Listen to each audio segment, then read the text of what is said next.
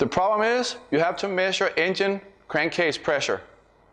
Whether you're using an IMIB or regular manometer, to do that, you have to connect to the engine crankcase, typically via the oil cap. Uh, there's a lot of different ways to do that. If you're going with the official test plan and they tell you to use the BMW tool, this tool has had a problem with the little connectors breaking off and ending up inside of the engine crankcase.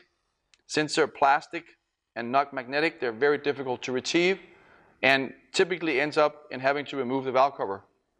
Uh, other problems that we've seen with drilling a hole and putting a fitting on a regular oil cap, which is not a problem if it's done properly, but there's a huge risk of not getting it sealed to the inside.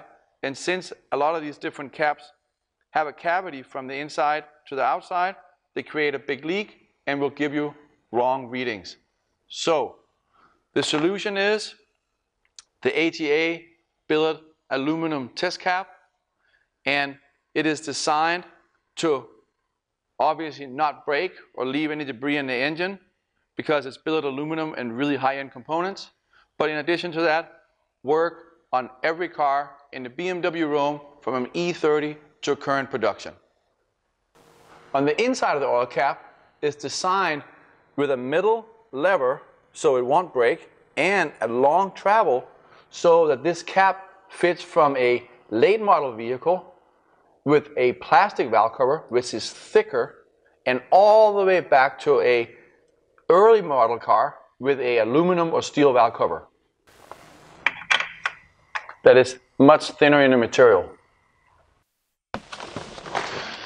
This cap doesn't only fit the BMW line of cars, it also works with the Mercedes models, newer chassis, as well as the older ones, using a metal valve cover like this. It works on the VWs, the Audis, the Porsches, on most of the models that they make. The AGA test cap is designed with a fitting that has a small diameter end on it so that it fits directly to the IMIB tool. When you connect the hose, there is no need for adapters that could result in leaks or wrong readings.